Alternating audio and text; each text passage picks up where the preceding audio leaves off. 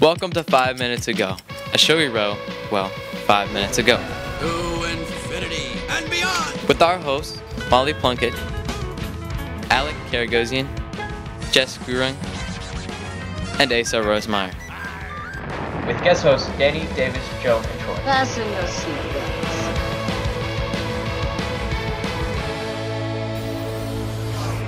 Hey everyone, welcome to Five Minutes Ago. And a special welcome to our guest hosts this week, seniors Davis Ingersoll, Dani Karma, Joe Gaziano, and Troy Stevader. We're all super happy to be here on Five Minutes Ago. Nice to see you guys. I believe this is the first time in Five Minutes Ago history we've had a quartet of guest hosts in the same room. Why are all four of you guys together? We're actually all part of Miss Masterson's light blue uh, back table group.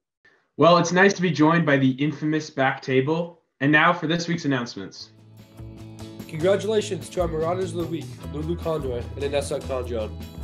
The PTSO is celebrating acts of kindness next week with fun activities for BHS students. Look out for daily events at lunchtime, including lawn games, minute to win it games, prizes, a photo booth, and other surprises.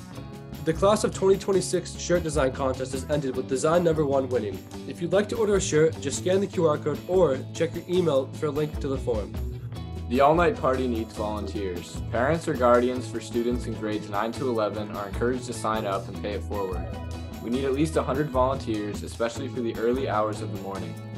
This is an event that seniors really look forward to, and it is only possible with your help. For more information, check the description. Please upload photos of your favorite moments at Belmont High School, your baby photos, and your yearbook photos on the Class of 2023 photo submission form linked in the description.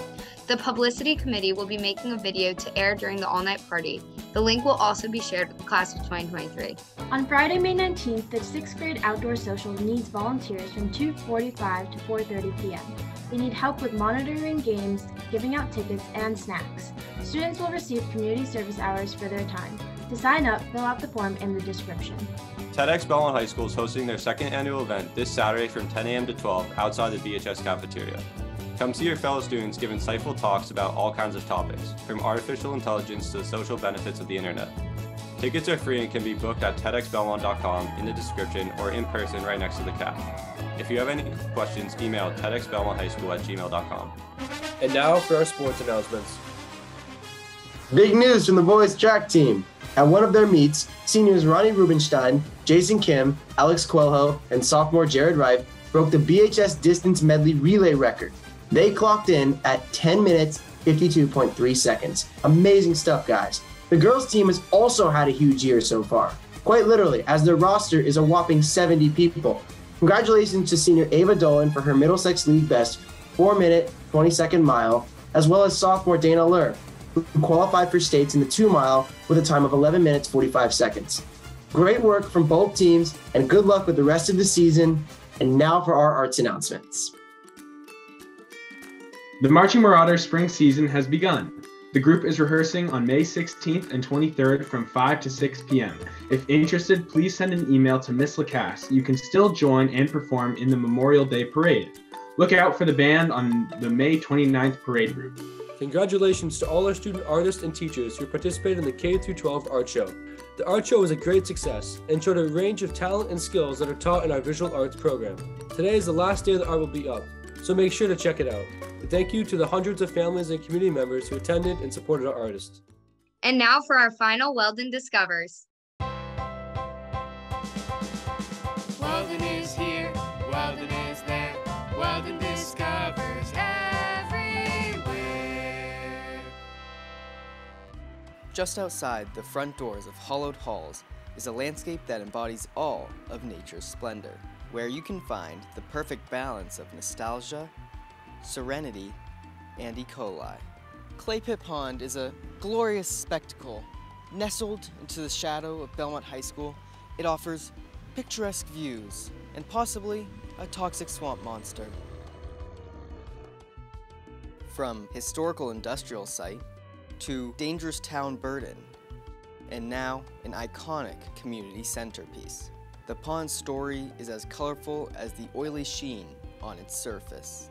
I met with Belmont's local historian to learn more about the secrets it hides beneath its depths. In the early 1900s, it used to be a brickyard where they used to dig up clay in order to manufacture bricks. And how did it become a pond? Well, once all the clay was used up, the brick factory abandoned the site, and eventually the Wellington Brook was diverted to fill the pit, along with rainfall, uh, street runoff, and other drainage, till it became the pond that it is today.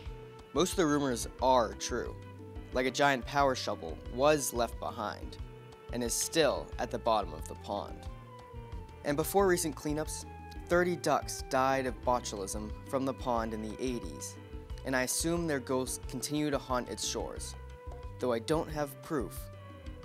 Today, I discovered a local landmark that has a place in our hearts, but never our stomachs, mouths, skin, eyes, ears, or other orifices.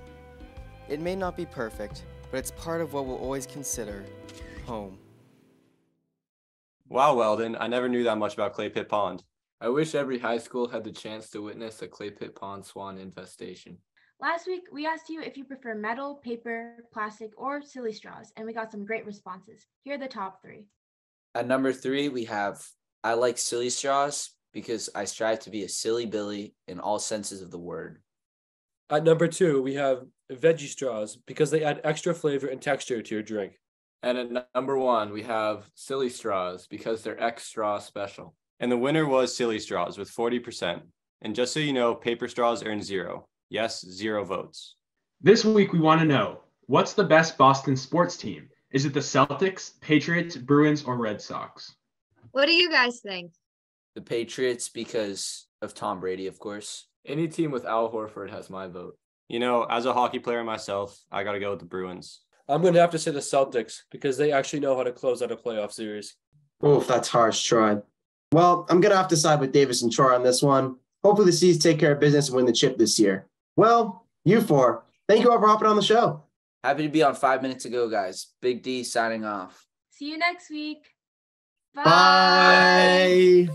Make sure to follow us on Instagram at 5 minutes go underscore BHS. Also, hit the QR code on the screen to find the question of the week.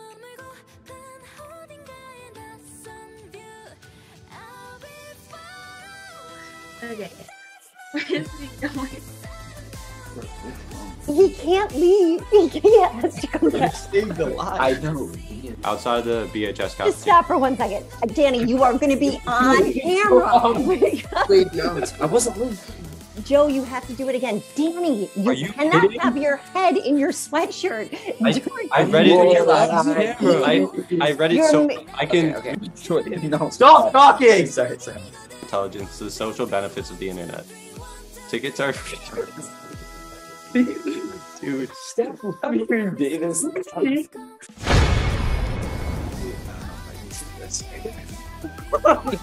Say it, just say it. yeah. Let's take let's have a take. All on bro. If anyone tries to call me for this, No, we. No, No, Stay no, on no, it. I'll, I'll I'll defend defend you. you. that's all love, dude. You all got your back. I hope so. All right. Big D signing off. I actually think it's okay. And Ethan, I think it's okay if they start laughing at him and you keep that in the cut. I think that's totally fine.